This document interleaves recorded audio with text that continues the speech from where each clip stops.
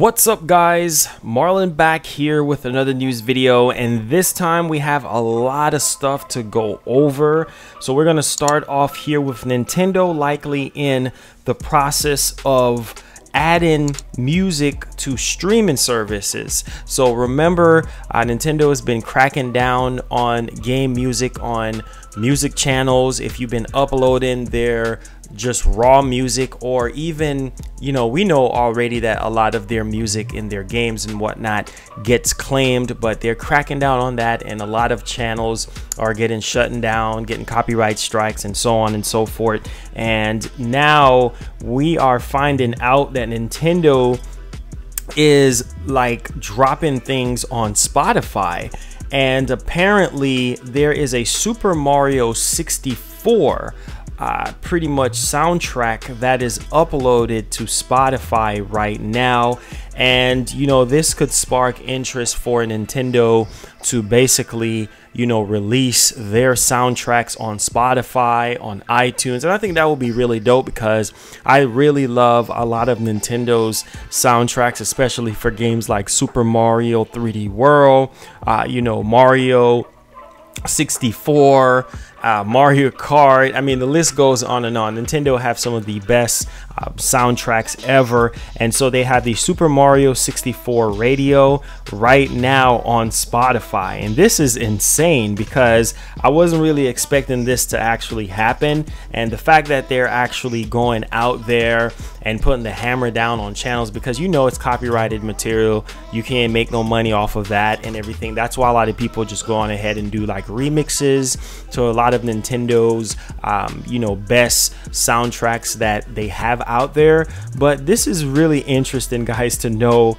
that Nintendo is just dropping their soundtracks on Spotify, and hopefully they might have some stuff on iTunes and you know maybe SoundCloud. I don't think they're probably going to drop anything on SoundCloud, but maybe iTunes and Spotify. I think maybe those two are going to be the main things moving forward. So what do you guys think about Nintendo? You know, kind of dropping their soundtracks on you know streaming services? Leave y'all thoughts down in the comment section down below. All right, guys, let's get to the next part of the news video here. So this is quite interesting. So Power Stone director wants to see a series revival Revival on the Nintendo Switch. And I think this is really dope. I mean, Power Stone is one of my favorite fighting games of all time. Like literally, it just brings that arcadic feel uh, to your bones when it comes to fighting games. And this is really good, man, because if they can figure out a way to revive the series on the Nintendo Switch, I think it will sell very extremely well because that is a classic game. I mean,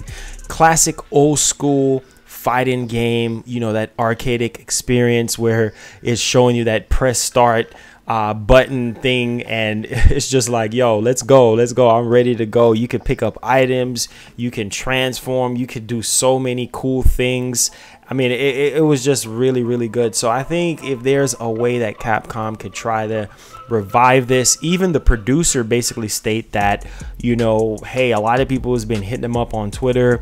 Hey, are you gonna bring back Power Stone? It would be dope if you could bring it on the Nintendo Switch.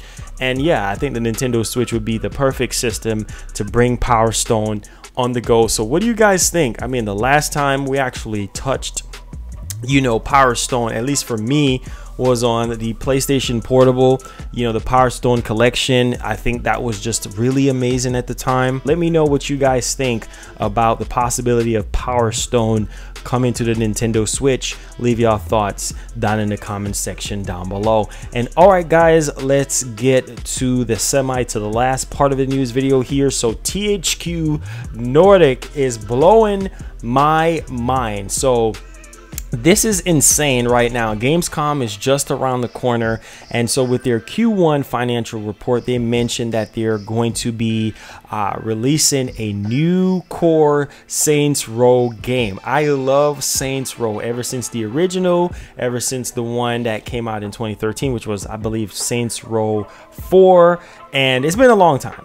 So the Volition is really working hard right now. I think they're actually deep in development with Saints Row um, 5. I think that's what it's going to be called. Also, there are talks about Time Splitters. Holy cow. Time Splitters is one of my favorite first person shooters of all time. That game was just so good. So the fact that we're getting a new core Saints Row game that's in development, we're getting time splitters, and there's even talks about Dead Island 2. So insane stuff there. I mean, this is a lot of games that we can expect from THQ Nordic, and I'm just blown away because you know what? Darksiders 3 is definitely really really good. And something really important to note last year deep silver acquired the much loved time splitters ip which was really good to know. And they're also uh, announced that they were going to bring back one of the series creators, which is Steve Ellis, which was like, you know, one of the original um, guys behind Time Splitters. And oh my God, man, this this is gonna be really good. You know, they're already talking about a new Metro game uh, that they're gonna come out with. You know, they have the new SpongeBob game. Darksiders Genesis, Destroy All Humans. I mean, they're the publisher to actually look at right now because they're just dropping bombs left and right. And I know, you know, the Saints Row uh, series, you know, has been good over the years. I remember they released the Gat Out of Hell in 2015. That was really good. And then Agents of Mayhem in 2017.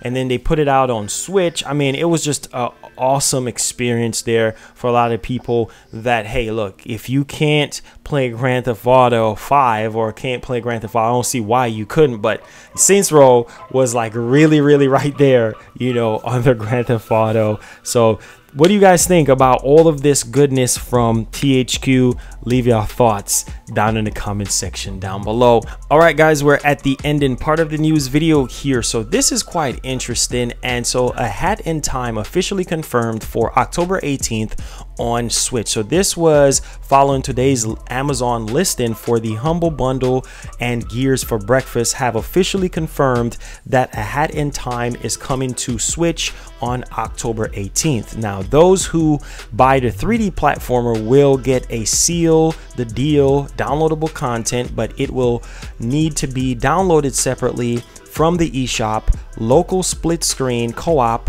will also be included, marking the, the first time this is available on console. So this is really good. The game looks amazing, uh, very good 3D platformer. You know, of course, it reminds me of a lot of other games that's in this vein of, of style of gameplay, but it looks really good. And so let me know if you guys are going to pick this up. I think it's a very good deal for what they're actually offering, you know, with the downloadable content. I always applaud um, you know, game developers for including DLC with their games, especially at launch. I think it just adds tremendous value there. So, all right, guys, that wraps up today's uh, news video. Hopefully, you guys enjoyed it. Make sure you guys subscribe and hit that bell. And we're still working on that Joy-Con Boys album. I'm telling you, it's going to be fire once it comes out. We're going to be releasing two tracks this year. Full album comes out in 2020 in June. So it's going to be pretty interesting, guys, once it comes out. And I hope you guys support it. All right, guys, please have yourself a great night. Peace.